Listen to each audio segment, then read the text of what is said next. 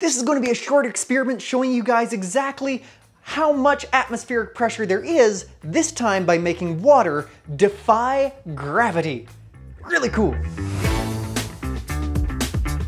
So what you want to do is you want to have a jar or a glass, just as long as you have some sort of piece of paper that can cover the lid entirely. I'm going to use a playing card. As long as it can cover the lid, then that should be fine. Now what you're gonna wanna do is you wanna fill up your beaker or your cup or whatever else you have, fill it all the way to the top.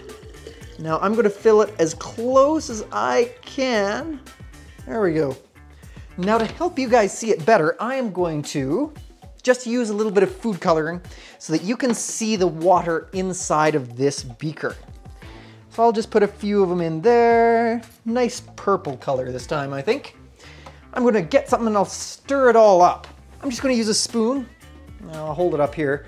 I'm gonna stir it so you can just see the water is full all the way to the top. Now this is where it gets cool. This water currently is being pulled down towards the ground and the atmospheric pressure is pushing in on all sides of this beaker. On the top, on the sides, everywhere. Now if I put this piece of paper, which is just a playing card on top. I'm gonna put my hand on top of the piece of paper and flip the whole thing over. So now my hand is preventing this water from falling all over the ground. Well, what happens when I let go of the playing card? Look at that, eh? So this is being held in place because you remember, atmospheric pressure is pushing in on us on all sides with like 14 pounds of pressure per inch. So that means right here, there's 14 pounds of pressure pushing down on the top of this uh, beaker. On the sides, there's 14 pounds of pressure pushing in on it, but also on the bottom. We've removed all of the air from inside of this beaker with a little bit of an exception at the top. That's so small it doesn't matter. Which means all that's left is the weight of the water pulling down, which is approximately a pound, maybe a pound and a half.